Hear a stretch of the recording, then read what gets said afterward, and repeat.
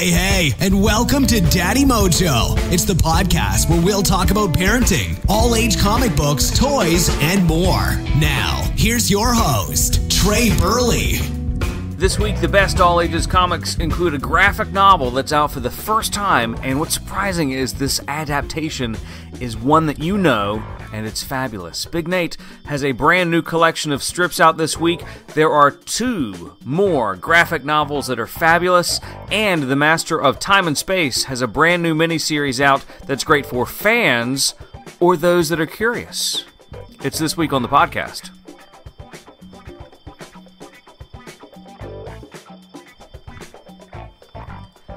This is Trey with Daddy Mojo. Thanks for listening to the podcast. This week, every week, we take a look at some of the best all ages comics that are coming out this week, and that includes a whole lot of graphic novels. And this week is fabulous because there's a good mix of both graphic novels and comic books that are going to skew as young as five years old. What do you hear in the background?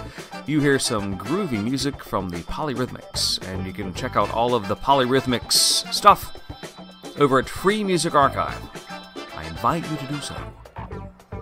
One of the graphic novels that is out this week, and it is it a graphic novel? Well, it's in color and it is reprinted, so it meets the criteria of a graphic novel. It's just a little bit odd because it's not a comic book. It's Big Nate.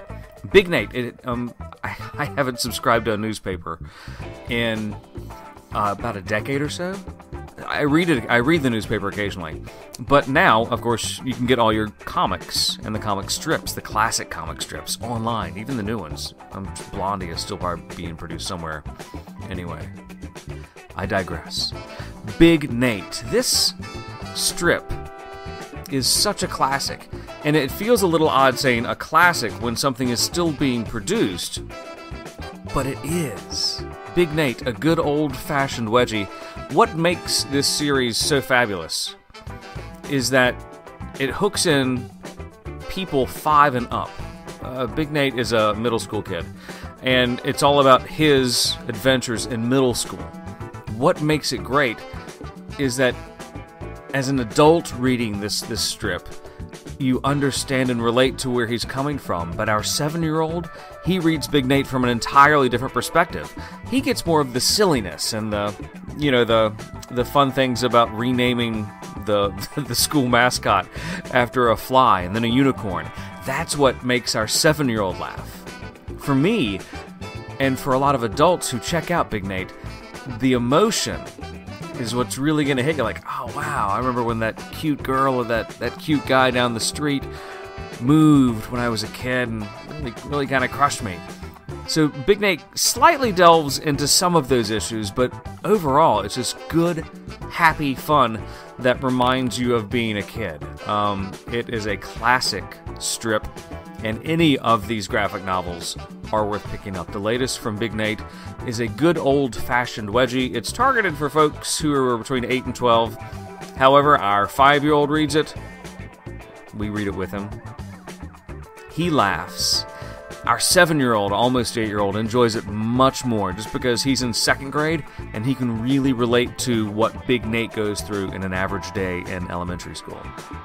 You probably know Big Nate. If not, get to know him because this strip, this comic strip, is fabulous. Likewise, this book, a good old fashioned wedgie, is a can't miss. Another classic, back in the late 60s, you parents, listen up. Harvey Hits. Do you remember Harvey Hits, like Casper the Friendly Ghost and Richie Rich and all of his friends, who you always forgot the name to? There was the witch, the witch in red with the, the, the blonde hair, and there was the little devil with the white horns. And I forgot the names of all these characters, but they're back! They're timeless, and they're timeless. Really is. Harvey Hits number four is out. Um, and this is classic stuff from Joe Books. It is new stories from those classic characters because uh, a lot of the, the old Harvey staplemates, like there's a new monthly series from Casper the Friendly Ghost out that is coincidentally out this week also. So if you're down with old school Harvey, you can check out Casper the Friendly Ghost, issue number two, I think is out this week. This is issue number four of Harvey Hits. Uh, Harvey Hits is more like a. Hmm, I'll call it a clearinghouse for all of the Harvey characters, where you're going to have all of them. Richie Rich, the not Glinda Goodwitch, she was Wizard of Oz.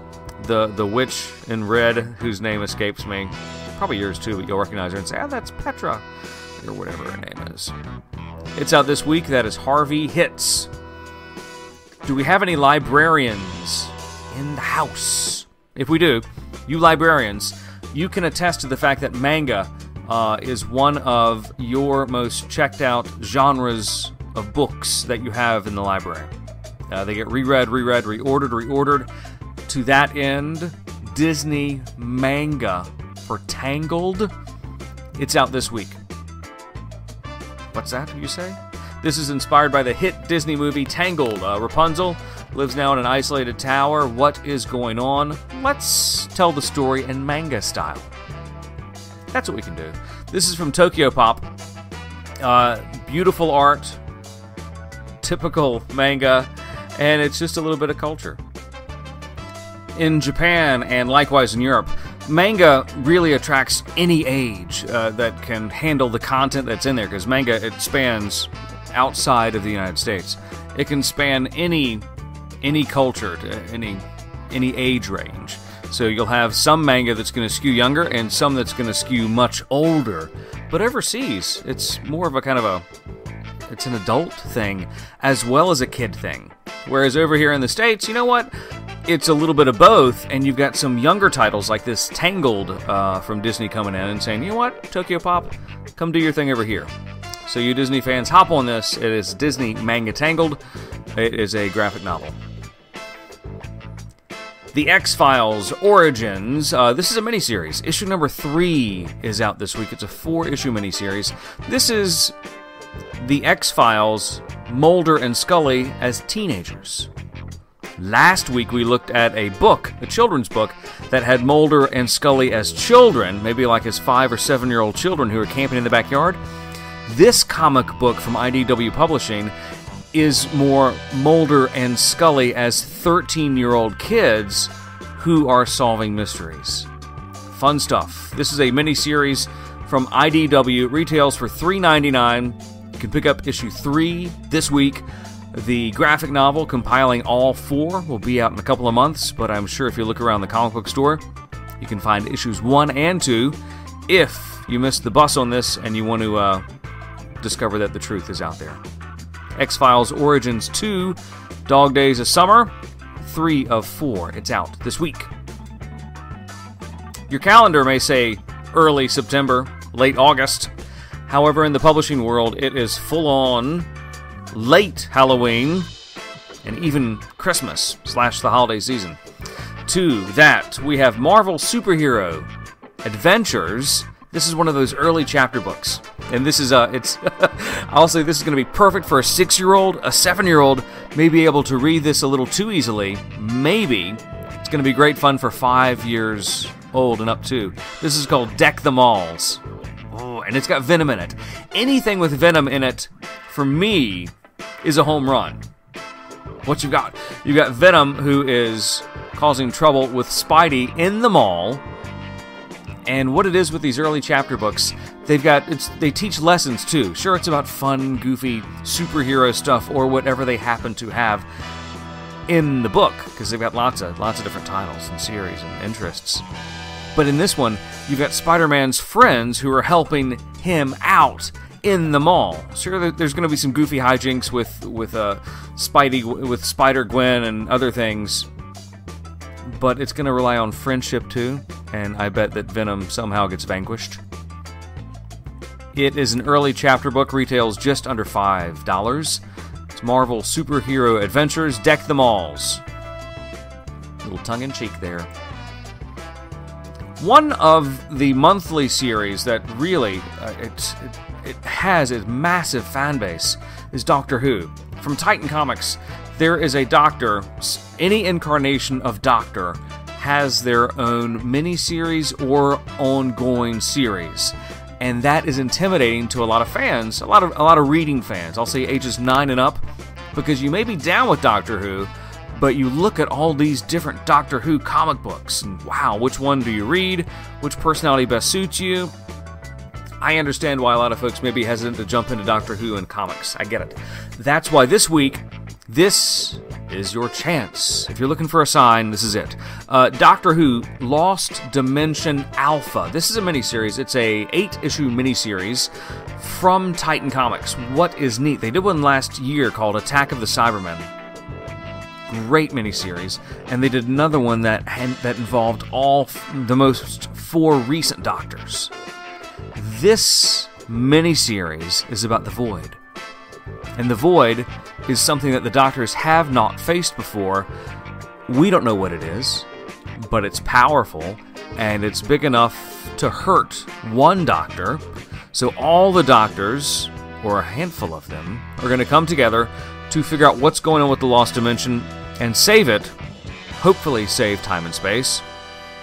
Great miniseries for those folks who are curious about Doctor Who but may be intimidated by the the supposed difficult nature of the comic book, and it's not that difficult. If you're a nine year old who can read pretty well, you're going to dig this. If you like the show, it's a great show. Again, nine years up, you're going to like it because it's it's a little complex, but the content in these comic books is going to be a okay for you nine years old or younger. Just younger people won't want to read it because it's going to be so involved and you'll have to read it to really get into the story.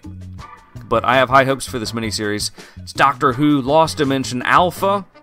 Issue number one is out this week.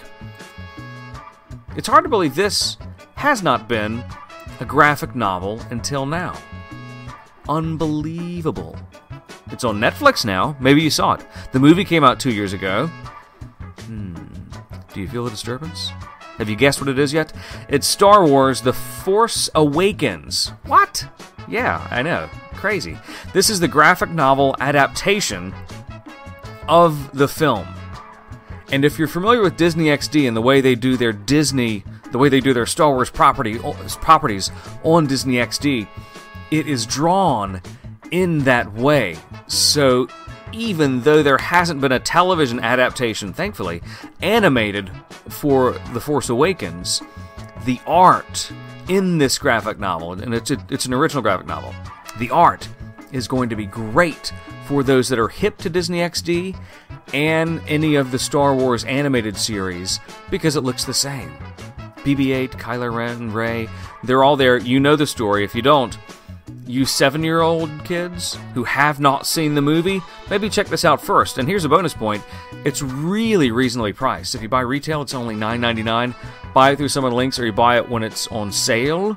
It's $7.99, so it's a great price, and the, the content and the presentations is fine for you, as well as you old-time, old-school fans. I'm looking at me when I say that. And coming up really soon, we mentioned this no, we haven't. this is new. There is a new all age Star Wars original series coming out in comic books. Yes, how cool is that?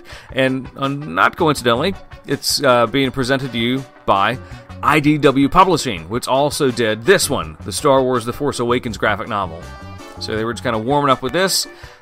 And in the near future, like in a couple of weeks, they're going to bust out the original monthly all ages Star Wars, which will be awesome. We are on Twitter if you want to reach out to us. It's at Daddy Mojo. Email is Trey, T R E Y, at daddymojo.net.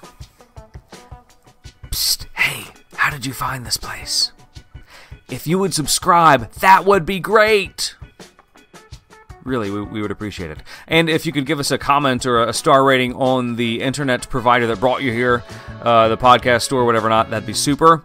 And we would send you a cat meme. Thanks.